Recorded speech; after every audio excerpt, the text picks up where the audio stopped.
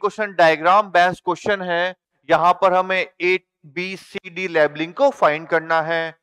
What indicates A to D in given figure ये hydroponic setup को represent कर रहा है, जहाँ पर प्लांट को ग्रो किया हुआ है कंप्लीटली सोइल फ्री कंडीशन में और यहाँ पर वाटर के अंदर न्यूट्रिएंट सॉल्यूशन डाल रखा है।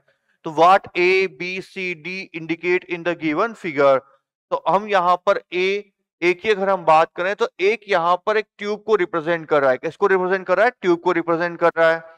बी यहाँ पर एरेशन ट्यूब है। यहाँ पर हम सी की बात करें सी यहाँ पर ये कॉटन प्लग है। यहाँ पर ये क्या है? कॉटन प्लग है। सी यहाँ पर क्या है? ये कॉटन प्लग है यहाँ पर। तो सी हो गया कॉटन प्लग और डी की हम बात करें तो डी यहाँ पर क्या है? न्यूट्रिएंट सॉल्यूशन डी यहाँ पर क्या है? न्यूट्रिएंट सॉल्यूशन डी यहाँ पर क्या है? न्यूट्रिएंट सॉल्यूशन डी यहाँ पर क्या है? Nutrient solution. तो ए यहाँ हम बात करें, ए कॉटन। ए कॉटन नहीं है तो यहाँ पर ए नहीं होगा ये।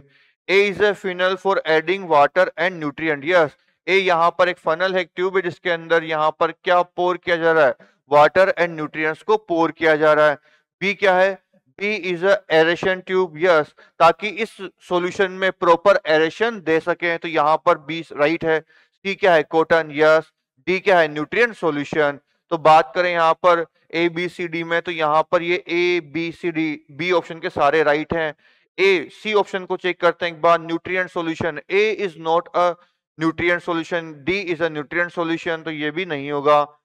If you talk about D option A is a cotton A cotton नहीं है तो ये भी नहीं होगा। तो यहाँ पर 15 में जो करेक्ट लेबलिंग है, वो किसके अंदर मेंशन है? बी ऑप्शन के अंदर। तो आंसर हो जाएगा बी